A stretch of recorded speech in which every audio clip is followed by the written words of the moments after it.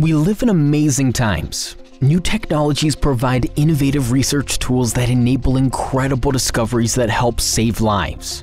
Yet, discovering a new drug still takes almost 14 years of research and clinical development, and it costs about $2.5 billion to bring the new drug to market.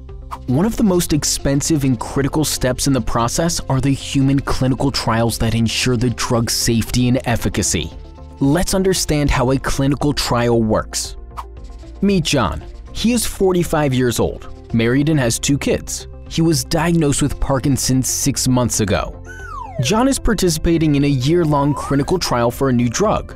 Every day, he has to follow a detailed protocol and fill out a diary that describes his disease, symptoms, and when he takes his medication. In order to help track the disease's progression and the medication's effect, John also has to regularly visit his clinic.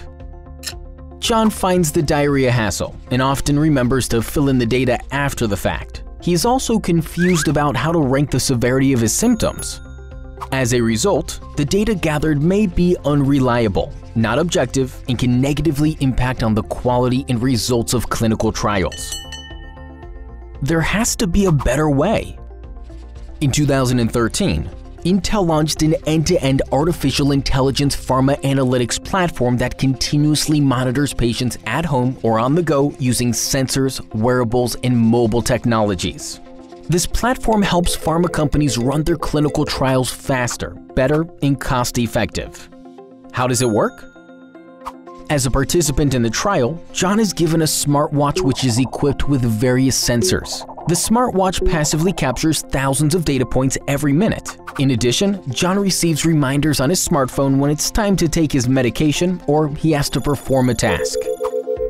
The data is sent to the cloud and processed using machine learning algorithms to generate objective measurements that quantify the severity of John's symptoms. This helps pharma researchers and physicians better understand the efficacy of the medication and the progression of John's disease.